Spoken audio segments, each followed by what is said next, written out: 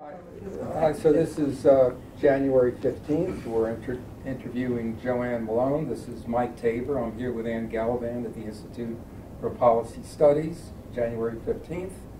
Um, so, Joann, you were a nun who became a federal felon protesting against the Vietnam War. Where did you get your radical ideas? Well, Mike, before I answer your question, I would just like to thank you and Ann and all of the people here at the Institute for Policy Studies and uh, George Washington University for giving me this opportunity to speak to young people in the future. Um, and it's wonderful that today is Martin Luther King's birthday and also uh, my good friend Susie Solf from Earth Onions. So I dedicate this to both of them.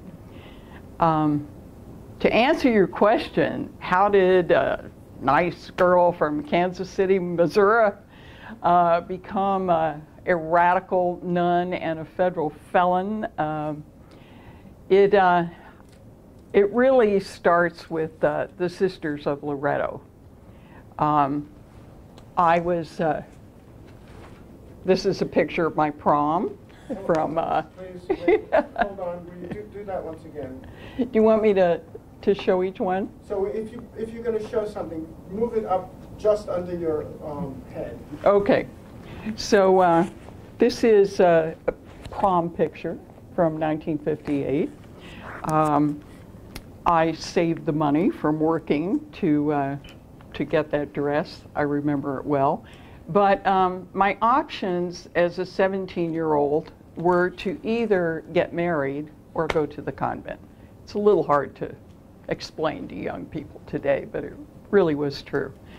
And uh, I'm very deeply grateful that I ended up with the most progressive religious order in the United States, perhaps in the world at the time, the Sisters of Loretto. And uh, they took the basic Christian values that I was raised with to a whole new level of teaching us that love is not an abstraction, but something that really has to be lived in our daily lives and all our actions and extend to all people in the world. So um, this is a picture of me uh, as a postulant and a novice. I was at their mother house in Kentucky uh, for three years and finally was uh, professed as a nun and stayed with the order for almost 12 years.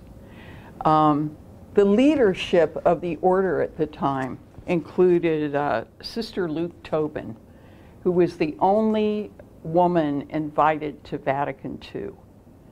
Uh, she came back and talked to us and explained about this uh, opening in the church that included social action, um, fighting against poverty and war and oppression.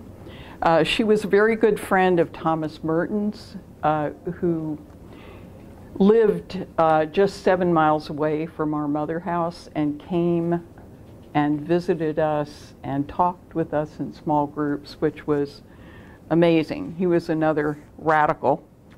Um, this is another one of Sister Luke's books.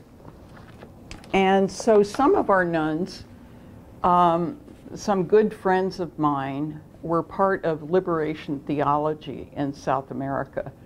I had friends in Chile, uh, Bolivia, Peru, and they really became part of uh, revolutionary movements there. So I heard firsthand from them what it was like to be uh, poor and deprived of land in South America. Um, we studied books like Pedagogy of the Oppressed by Paulo Freire, um, many, many other uh, radical uh, teachers from around the world.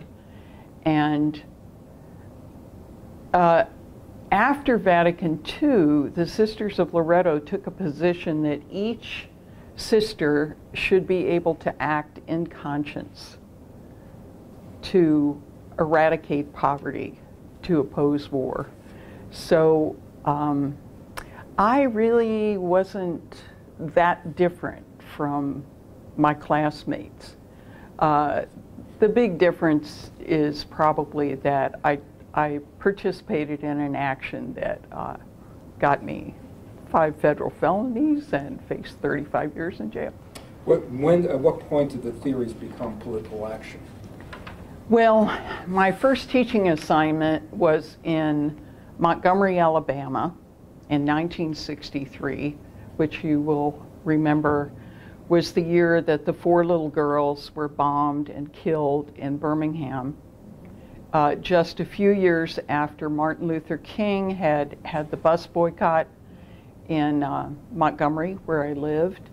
And I was assigned to a small, all white Catholic diocesan school. There were about 350 students.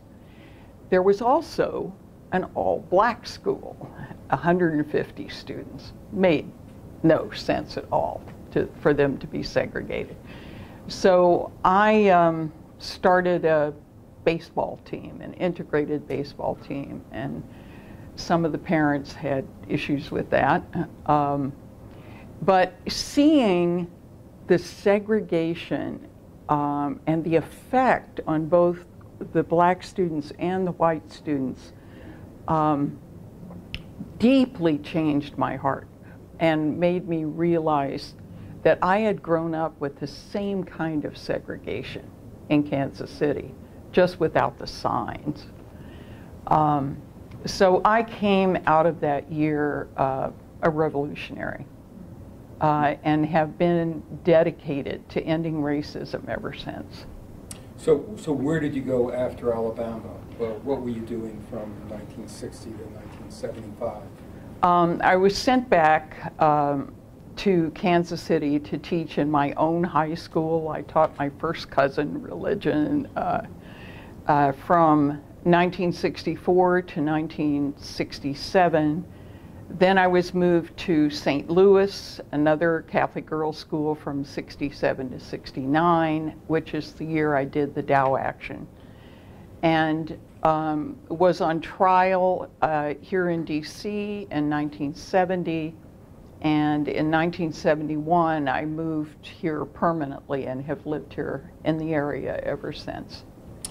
Well, how did you get involved in the anti-war movement? Well, um, back in Kansas City, I really wanted to go on the Selma uh, March in 65. Uh, friends of mine were able to go, but I wasn't. So I plunged into work in the inner city. Uh, we set up a storefront called Brown's. I brought my students from the suburbs downtown and they encountered poverty that they had never seen before. Um, I worked very closely with some Christian brothers. They had um, a boys' school, a military academy, uh, and we did retreats with the kids, joints retreats, but some of the boys were being drafted into the Army. Uh, some of my students in Alabama had already been killed in Vietnam. Uh, this was the era of the Pentagon protests, of uh, the Black Panther Party rising up, of riots in, in Watts and Newark and elsewhere. Um, back then, we really saw uh, a great deal of the war in Vietnam on television, body counts every single night. Um, and so naturally, we got involved with SDS on the college campuses, um, with um, uh, draft protests. Um, in St. Louis, um, I was involved with the Black Liberators, which was um, the local Black Panther Party, and uh, led a group of 60 nuns um, to the police headquarters when they had arrested two of the leaders for insufficiently lighted license plates at 2 o'clock in the afternoon uh, on a clear day.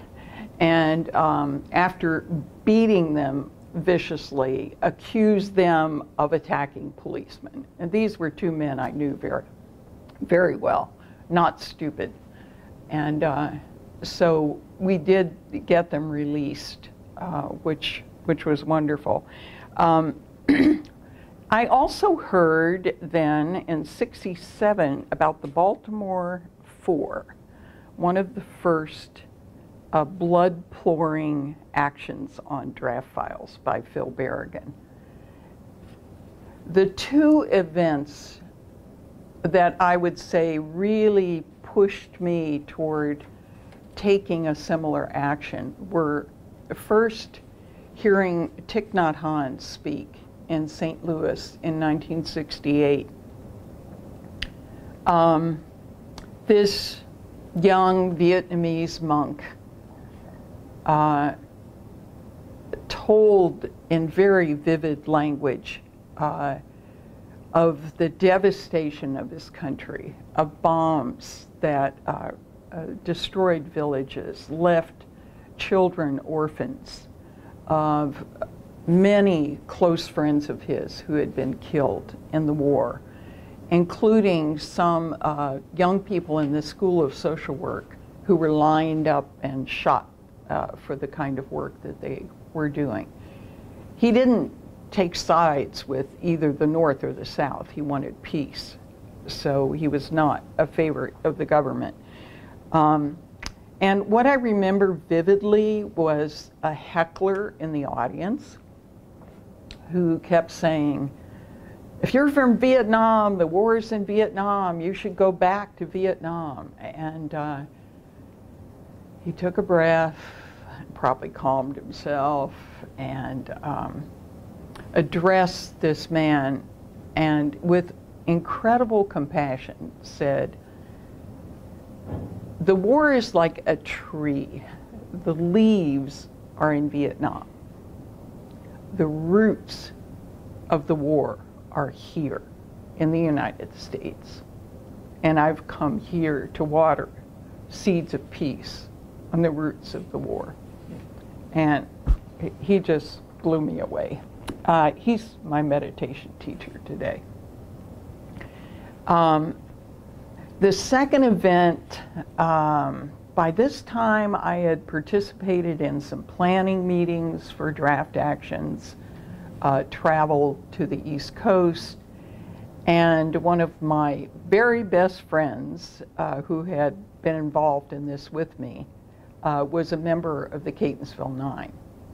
So when David Darst uh, joined Phil and Dan Berrigan and, and the other six in the Catonsville Nine, um, I was kind of at that point, we talked about it on the Catholic left as putting your life on the line. And my decision to do the action really was that. I was willing to give my life to stop the war. So, so what happened in the DC 9 action? Well, uh, nine of us, uh, five priests, um, an ex nun, an ex priest, they were married, um, a regular draft resistor guy from Detroit, and me. Um, and my little claim to fame is being the first nun in the United States to commit a federal felony get prosecuted for it.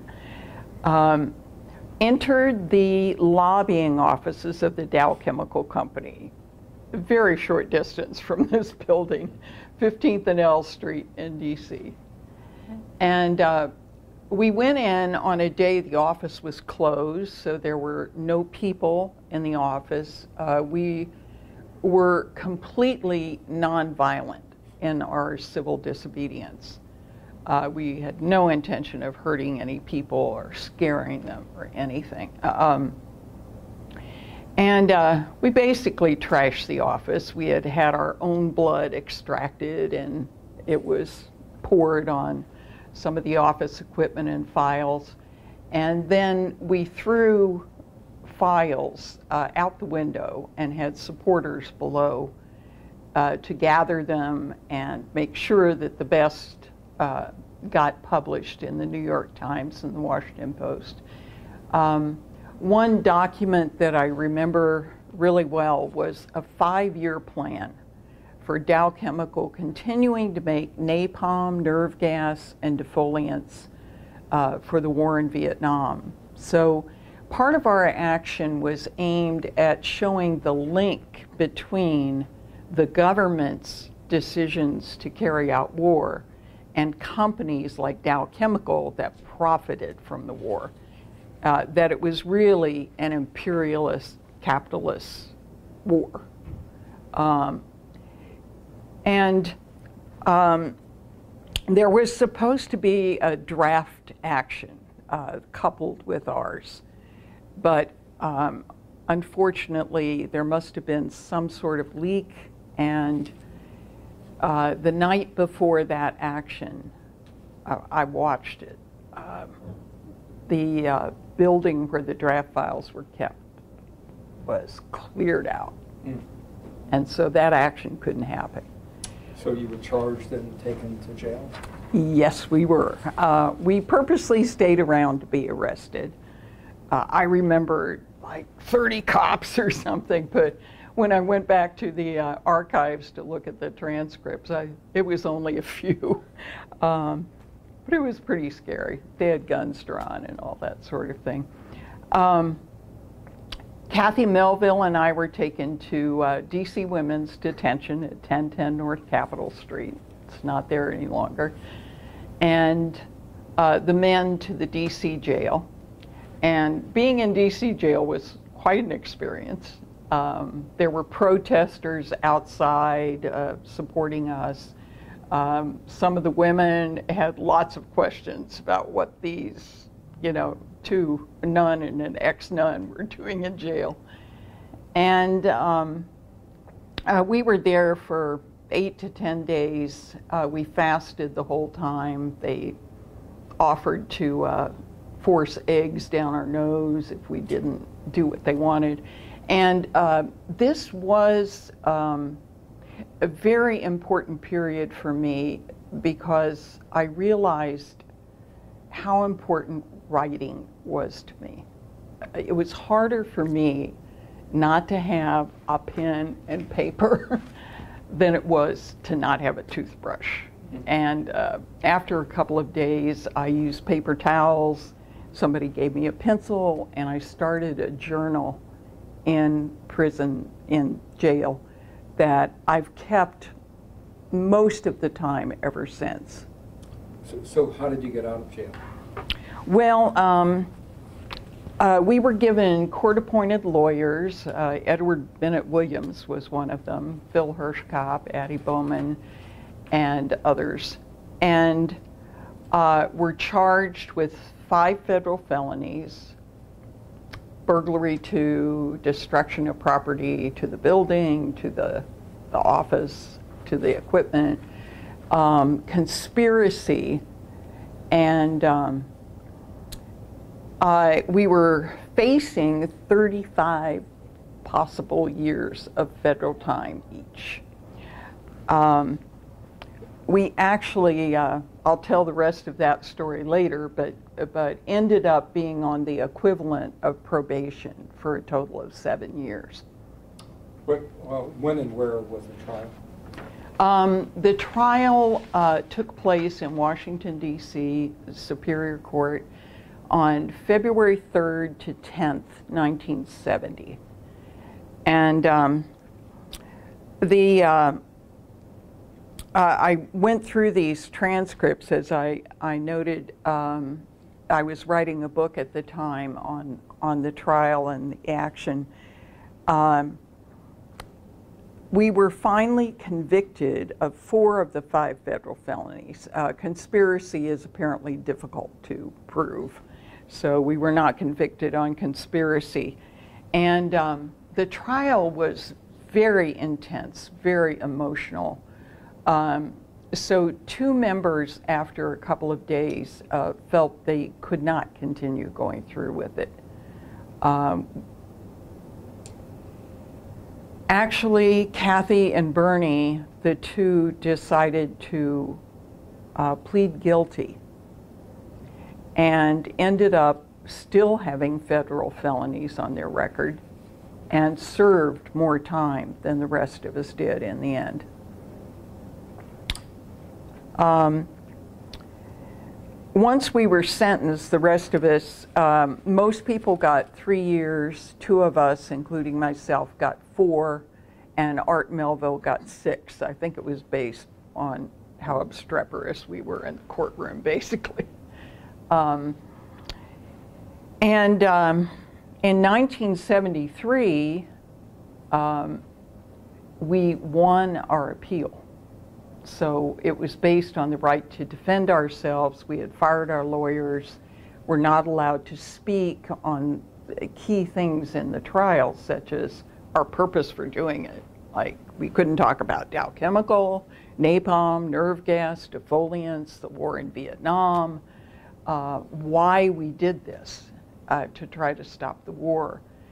And so we were offered either a new trial or one misdemeanor.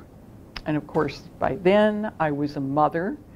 Um, the two Jesuits wanted a new trial, but I pushed very strongly to plead guilty to the one misdemeanor. And uh, if we hadn't done that, uh, I wouldn't have been able to teach and have another 20 year teaching career. Did your religious order support you during that trial? Amazing. The Sisters of Loretto were phenomenal. Um, the statements they had issued about a sister being able to act according to her conscience, they stood by that.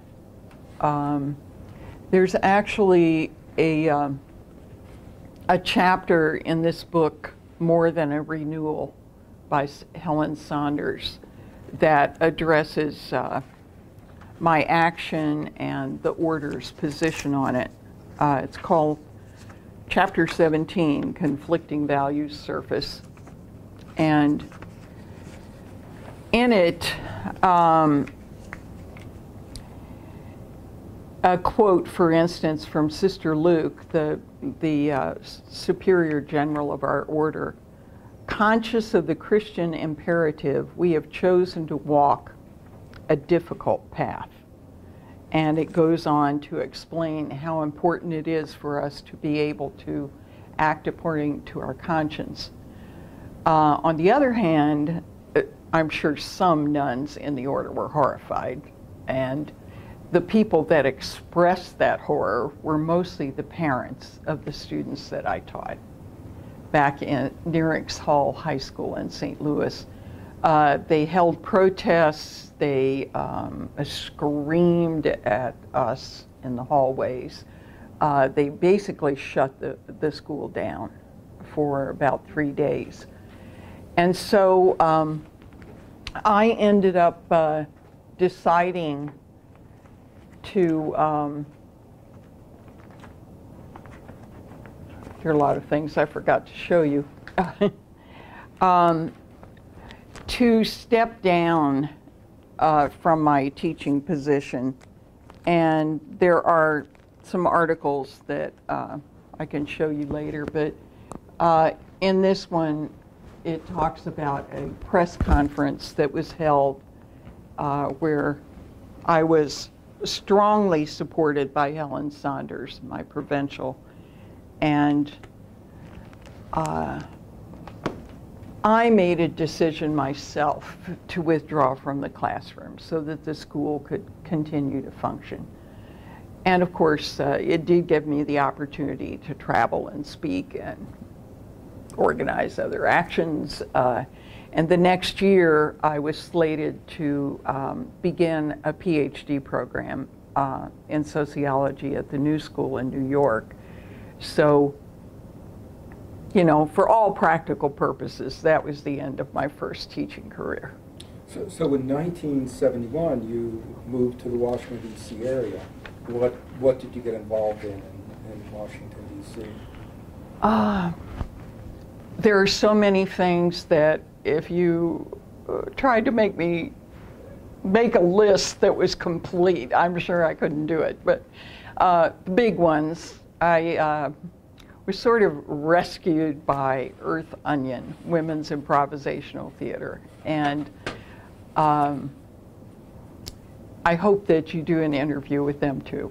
Uh, uh, we're still very close friends. Uh, we created theater, uh, traveled up and down the East Coast, did a tour at Chicago, uh, Fort Bragg, um, on stories based on our own experiences and asked for ideas from the audience, oftentimes, for pieces that people would like to see performed. Um, I lived with Art and Irene Wasco, uh, I worked with Arthur here at the Institute for Policy Studies for about a year and a half, worked on a prison project, um, held a conference in Chicago, and produced a special edition of Off Our Backs, the women's newspaper. I was, of course, pretty interested in the issue of prisons since I still had a four year sentence hanging over my head at the time.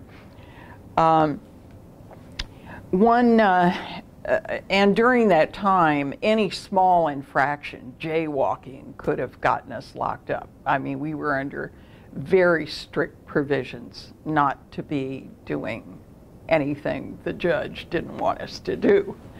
Um, uh, I did, of course, in fact, organize some other actions I'm really proud of. Uh, but uh, one of the things that we did in DC was to form a commune so that uh, for the precise purpose of taking care of my child when I went to prison.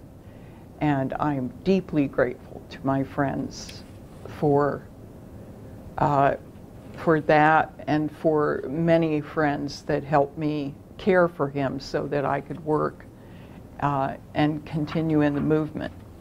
Um, in the 1971 to 75 period, I also joined a study group.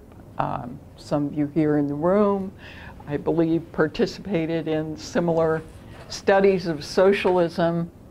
And um, this um, very much attracted me because by this time I had left the Catholic Church in 67, uh, three years before I left the order. Long story, but um, uh, I also pretty much separated from the Catholic left um, over issues of sexism and lack of security and seriousness about social change. Um, there was a lot of ego involved. I'm sure I participated in that too. But uh, I wanted uh, real revolutionary change. So uh, some of the groups that I worked with were the DC Unite to Fight Back. Um, we did a lot of housing, um, fairness work, and uh, support of people on trials. Um, the U.S. China People's Friendship Association, uh, and there was a, a big campaign uh, to free Terrence Johnson that um, I was heavily involved in. Uh, he was a young African American man, 15 years old, that was arrested. He hadn't done anything actually. Um, uh, and in a, a, scuffle where uh, a policeman was beating him in a side room with his gun on his holster. Uh, the gun went off and it ended up killing two policemen in a Hyattsville jail. And I saw this on television and said, this kid is going to die tonight in that jail if we don't do something. And um, so we quickly rallied, the fight back did, got lawyers for him, uh, supported his family during the trial. Um, there um, were also many jobs in factories, a little hard to find in the DC area, but we managed. Um, and uh, Georgetown University Hospital was one of the places I worked to help form a union. Um, I was very excited. I got fired over that, but uh, it did eventually happen. So it was a great victory. Um, and my life was by this time really dedicated to revolution. Uh, the only limits on various things that I was involved in were the fact that I was a mother and a single mother. I needed to provide for and take care of my child. And secondly, because we wanted uh, long term, deep social change, getting arrested on minor charges for a protest or something uh, didn't make sense most of the time. So we had to be careful and selective about what we did. And um, we're really trying to build a different kind of world, a world where peace and love were possible. Um, And, and community was very important to you. yeah, um, uh, community is a, a theme, I think, that goes throughout my life as I was reflecting on this and thinking about what I wanted to say. Um, I went right from a family, uh, dysfunctional alcoholism, into the Sisters of Loretto, a powerful community that taught me women could do anything. it was the equivalent of an international corporation. We had our own universities.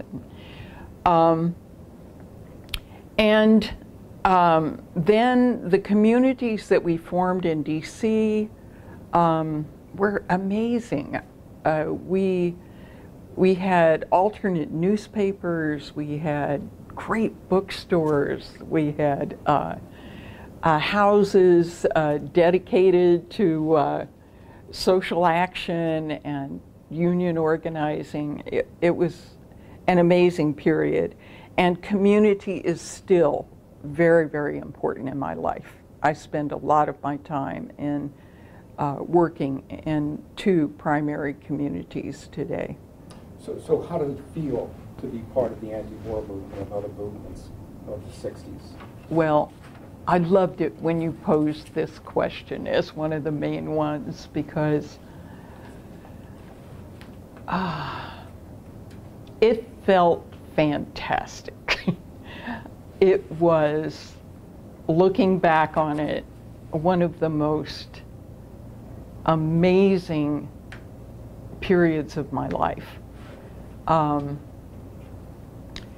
some of us, um, it wasn't just a joke about turning 30 and seeing ourselves as old people. We, uh, we really had that youthful uh, fire that uh, we were willing to die to stop the war. I mean, we had seen a lot of death uh, from way back when it was my students being drafted to Vietnam, um, meeting Thich Nhat Hanh, meeting other revolutionary people who had been imprisoned, tortured, killed. It, um, and once, once we had done something like the Dow action and had been on the other side, uh, there was no going back for me. And, And, and there, there was camaraderie. yeah, deep, deep camaraderie. I mean, we lived together, we made mistakes together, we got in trouble together, we, we uh, supported one another. I mean, the fact that there are, what, five of you sitting in this room right now that I knew back in those days, and we're still, we like each other, you know. We have common interests today is, is just amazing. Um, one of the, the feelings was that we were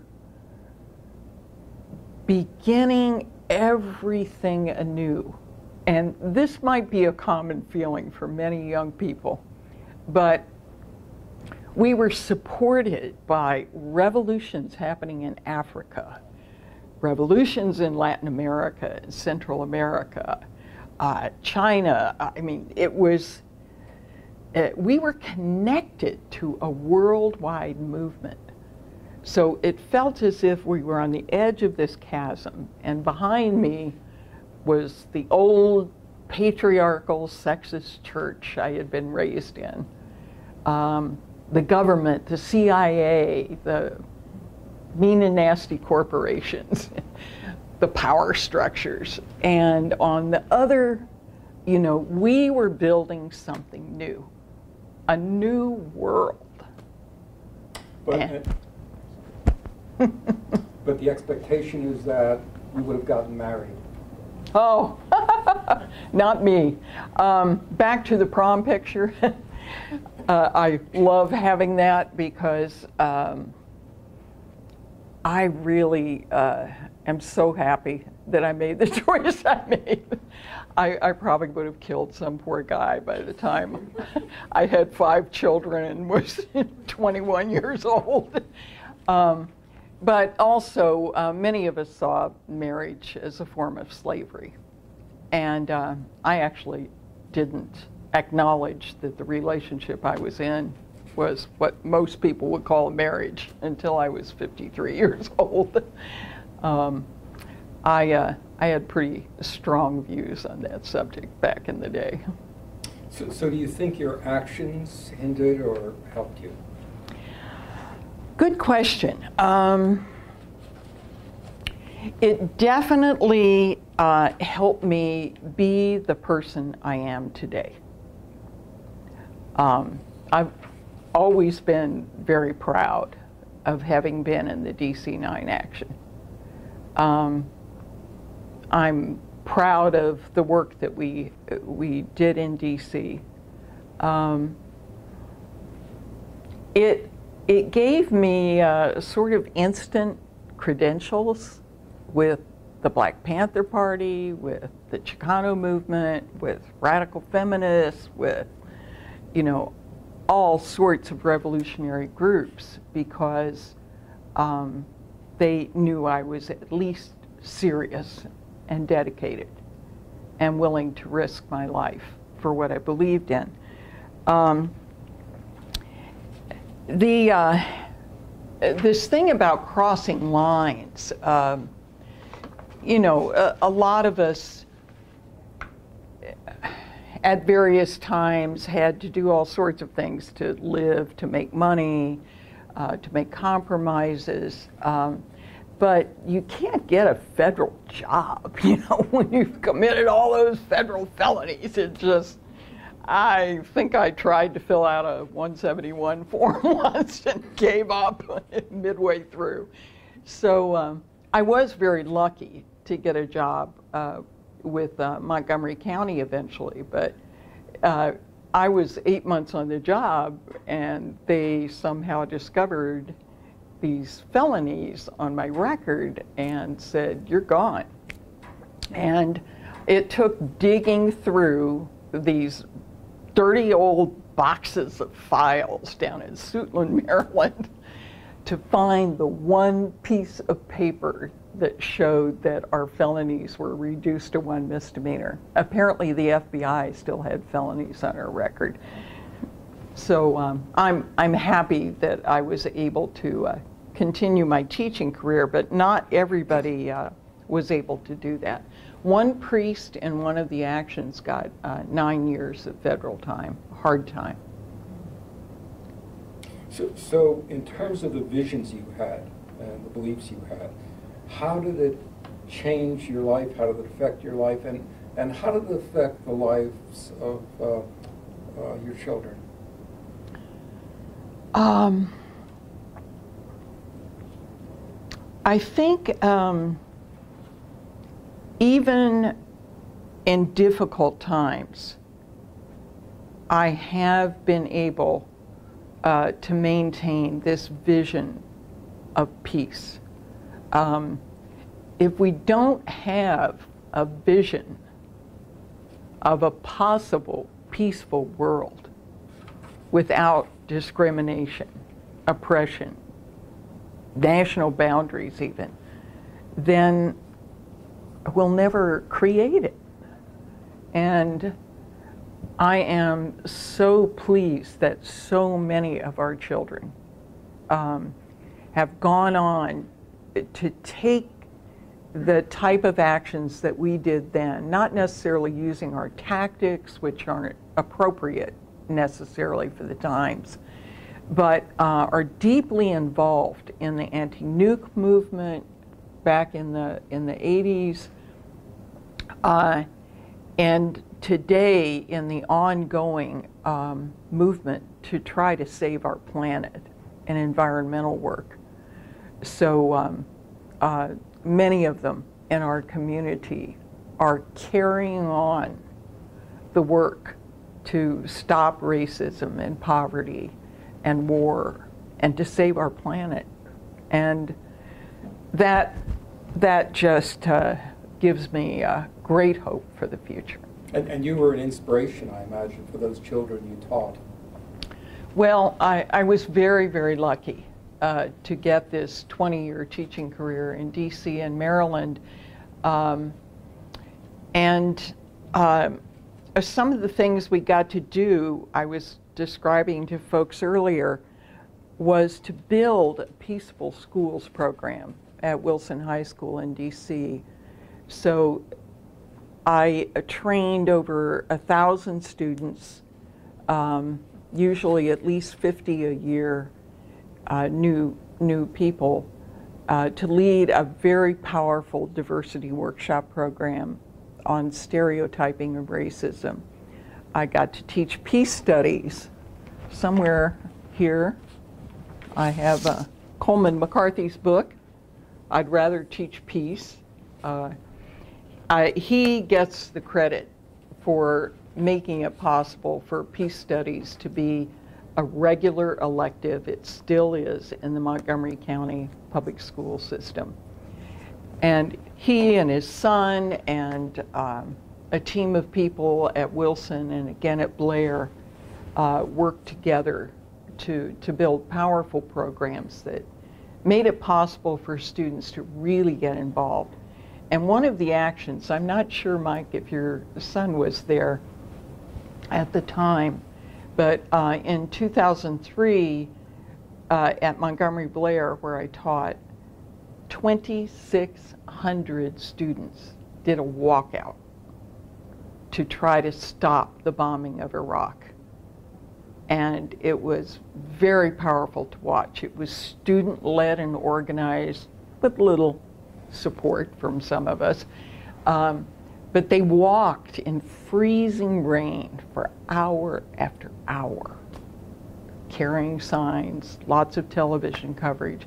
It, um, along with 8 million people around the world that were protesting the bombing of Iraq. Because uh, one of the realities which I can see, I have some very close friends who were veterans of uh, the Vietnam War, who still, to this day, suffer from Agent Orange, which Dow Chemical made, um, from PTSD, from drug and alcohol addiction that, that were based in that war. A war um, is not something a government can stop and start. You know, my son, while he was a student of yours, uh, was arrested at an anti-IMF World Bank demonstration with other students at your high school. So, um, so today you're spending time working on transforming the violence that we've created and wreaked upon the world. Ah, yes. Um, some of of the uh, the things that uh,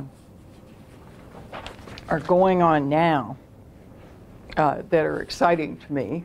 Uh, I am very pleased to be in my seventh decade and uh, to have lived through some of the great social movements of the 20th and 21st century.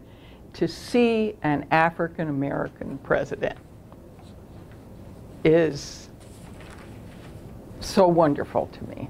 Um, I, I'm not a big fan of electoral politics, uh, but sometimes uh, there are things that that are, are worth getting out there and putting some energy behind, and that was one. Um, I hope to see a woman president in the White House um, before I die. Maybe not right now. Um, and uh, uh, many, many changes have happened. I mean, we all know uh, some of my young women students um,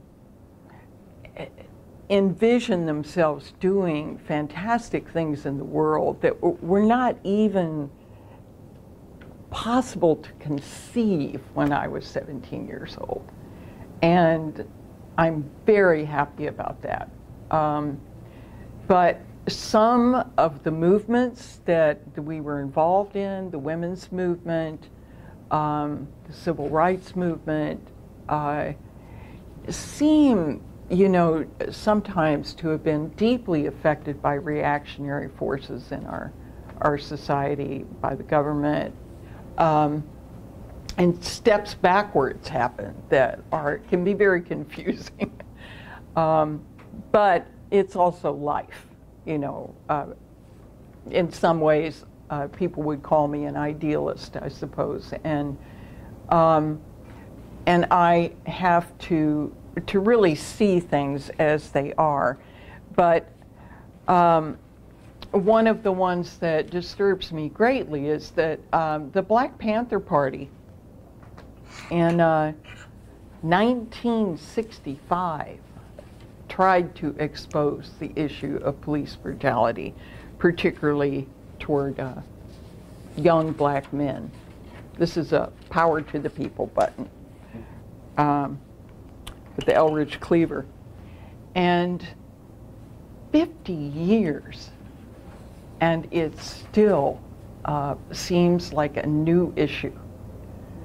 Um, I'm very happy that the Washington Post has been doing a series on the extent of police killings, um, the militarization of our police forces.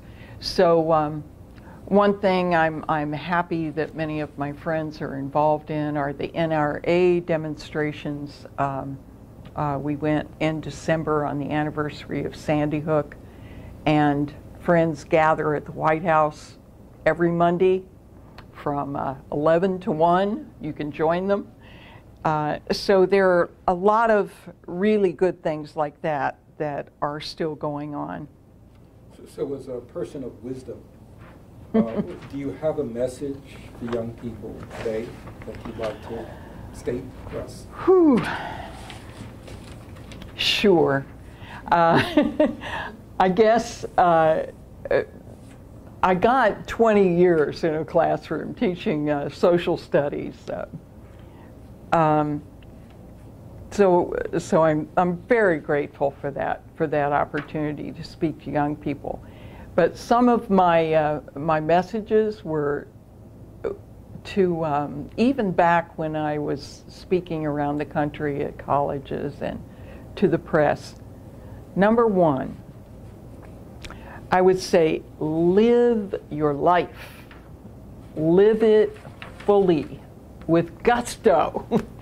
um, so many of us uh, get trapped in boxes, you know, in jobs, in relationships, in um, situations where uh, where we feel caught and oppressed, and um, keeping our minds and our spirits alive is is work that uh, to to really live in the present moment, knowing that all this history is part of what makes us who we are, but that our present actions also affect future generations um, is is very important to me. So uh, I've gotten involved in uh, mindful mindfulness meditation. I mentioned Thich Nhat Hanh as my teacher.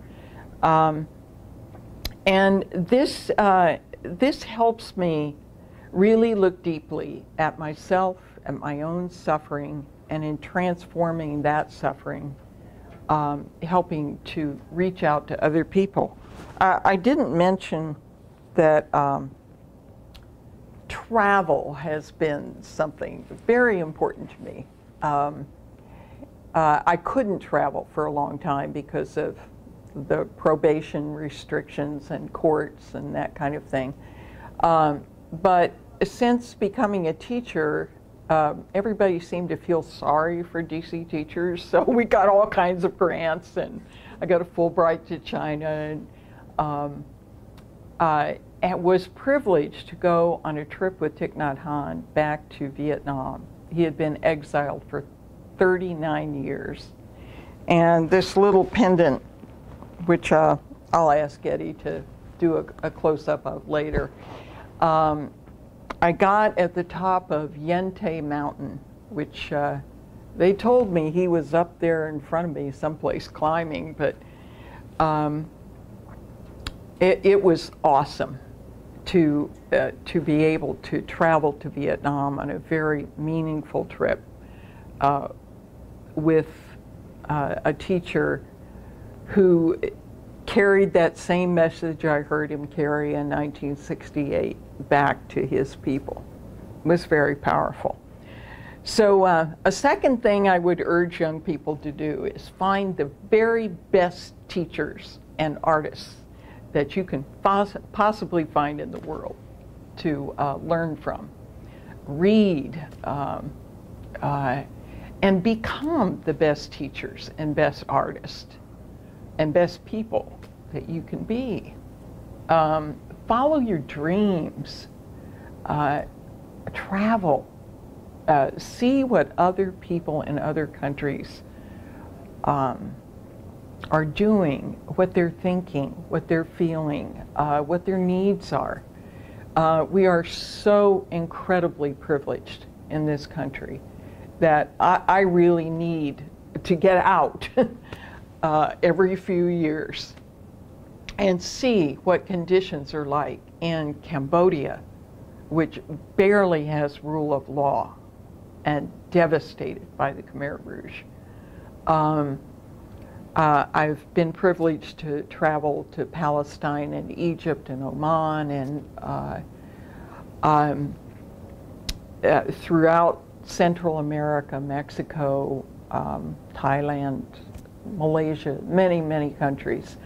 And uh, seeing, seeing the level of poverty that exists for a majority of the population of the earth is so important for our young people to see and to be part of the solution to, uh, to do uh, work that is useful uh, to try to alleviate poverty and war and suffering. Um, one other uh, thing I, I think I would urge young people to do is to have the courage to act on your convictions. Um, have convictions. um, uh, find people and communities that support uh, your highest self, your aspiration. Um, I, um, I love that quote um, from Margaret Mead uh, never doubt that a small group of thoughtful, committed citizens can change the world. Indeed, nothing else ever has, or it's the only thing that has. Um, so uh, you do make a difference. You are important. Um, and nothing courageous I've ever done um, has been alone. Um, after our action, there were over 200 similar actions around the country. Uh, many of them aren't widely known. uh, because the people weren't all, you know, well known in their communities and supported the way we were. But um, it's possible to see a problem and to really give your heart to finding a solution to that problem. We all have talents, and uh, I trust that the young people of this era and any young people who might ever see this interview uh, will be able to, to carry on visions of peace and to act for peace, to make peace, to protect our precious planet into the future. Um, one of the big changes that uh, I've experienced and am still experiencing uh, that is a challenge for me today and maybe for you um, is that back in the late 60s, early 70s, we often um, were pretty black and white, dualistic in our thinking. The bad guys were totally bad, you know. We demonized uh, Nixon and Hoover and there were some pretty bad guys out there. Reagan, um, the Dow Chemical Company, GE. Dow Chemical is still doing horrific things to destroy uh, the earth um, and to harm people. So corporations really do uh, some terrible things. Um, but we also saw ourselves as the good guys. um, and sometimes got a little carried away with that. So one of uh, the, the lessons that I constantly struggle with is um, what Thich Nhat Hanh calls uh, interbeing. That actually, if we have some kind of vision of the world that all people are equal, that all people basically have the same desires and needs for food and shelter and education for their children and a good life. Um, are there better ways that we could communicate this vision and really listen to people who are seem very, very different from us? Um, the, the poem that he wrote, uh, Please Call Me by My True Names, brings this home to me. Uh, it talks about a 12 year old girl who was a, a, boat person, a refugee from Vietnam. And uh, her family uh, was stuck on a boat, um, uh, not knowing where they were going, and they were attacked by sea pirates who raped her and she jumped off the boat and killed herself. And it's easier to identify with and have compassion for the victim. But he says that we also must have compassion for the sea pirate. Which one of us, given different circumstances, um, poverty, conditions in our lives, might not be that sea pirate. And so looking at my own anger, fear, uh, jealousy, revenge, whatever feelings come up in me, um, and really uh, looking at the past, at the present, and the future as, as being right here, right now, um, I think it makes a difference. So I am very dedicated to um, a morning routine that involves about an hour of journaling and writing. Um, Qigong, uh, I would urge young people to take care of these bodies. You might have it till you're 80 or 90 years old. So uh, I'm a, a Qigong teacher. Um, I teach meditation. I uh, have been conducting retreats for women alcoholics uh, meditation retreats for about five and a half years now. And am writing a book that I hope my husband and I will be using to uh, uh, help couples with conflicts and anger and difficulties they're having. And these efforts at changing ourselves um, do deepen the compassion that I feel uh, for other people that seem so different from me. Um, uh, when Thich Nhat Hanh was asked after 9 11 what he would do if he had a chance to talk to Osama bin Laden, what would he say? He said, I would listen. One uh, message uh, for young people is that today I really see that I am one with the whole world. Um, we are interconnected. I mean, my mother and my father are right here in my DNA and my waves in my hair. Um, uh, my, my future generations continue me. And if we really have a vision of, of peace in the world, um, in my opinion, it has to be based on love. Not just romantic love, but a kind of love that believes in equality, that it's inclusive, that is compassionate, that is joyful, um, and extends to every living being on earth. Um, bombs, terrorism, war uh, are not a way to stop something like ISIS. It doesn't work. I still firmly believe that love is the answer.